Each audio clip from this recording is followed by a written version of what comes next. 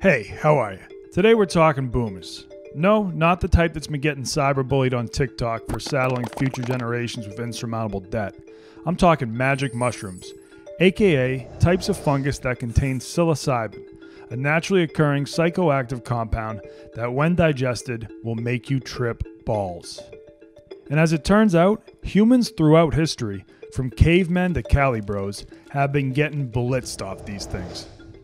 Shrooms were especially popular amongst ancient Mesoamerican cultures, most notably the Aztecs, who referred to them as Teonanacatl, which literally translates to flesh of the gods.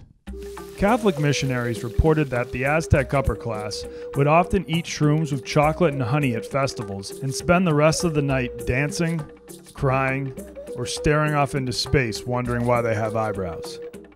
Honestly, that sounds kind of fun, and not much different than a modern day Phish concert.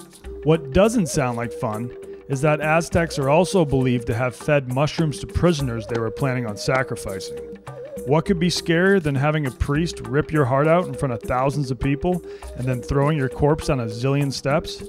Being absolutely zooted while all that is happening to you.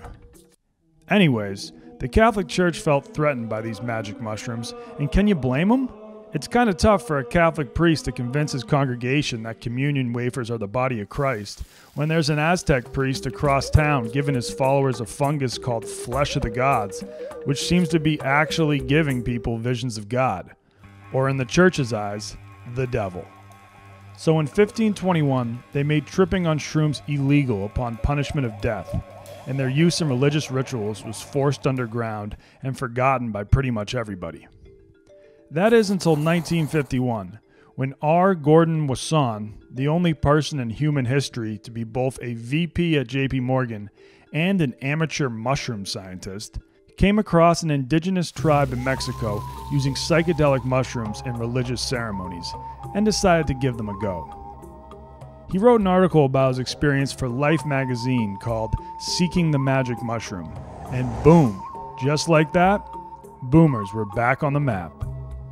The magic mushroom went on to become a symbol of the hippie movement in the 60s and 70s, and most recently has been used successfully in clinical trials to treat addiction, depression, and anxiety in people with terminal cancer. On a darker note, shrooms were blamed for a Columbus, Ohio man ripping part of his penis off in 2013. But who knows? That guy may have just been angry at his cock for years. In conclusion, boomers have been around way longer than baby boomers. They can be fun, therapeutic, and sometimes scary. But if you ever find them boring, they were probably purchased at a farmer's market.